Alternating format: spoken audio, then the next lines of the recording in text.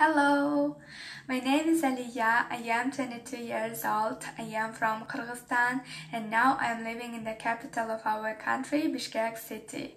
I am the oldest daughter in my family. My family consists of six people including me. They are my mother, father, me and three little brothers.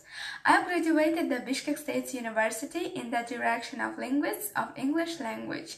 And I am an English teacher and now I am working at the Oxford English School school. I'm working with children, with teenagers, even with adults, and I really love my job. I really like working with children because they are very innocent, loyal, and cheerful. Actually, I am a grammar teacher and I know how it's difficult to teach children to grammar or learning grammar seems them very difficult or boring. And that's why I always try to find some alternative ways of teaching grammar.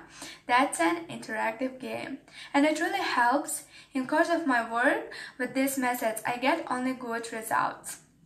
Actually, I work from Monday to uh, Friday, and that's why during these days I don't almost have free time. I'm free only at my weekends. And I always try to spend my weekends usefully.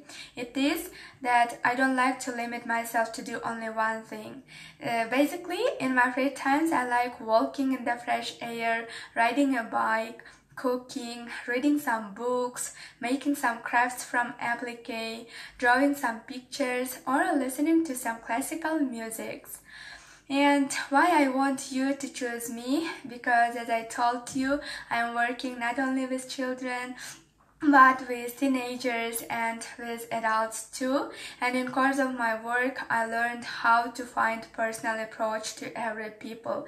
And that's why I think there will be no problems with our relation. And uh, shortly, that's all about me, about my life. I hope I can tell you more about me when we'll meet.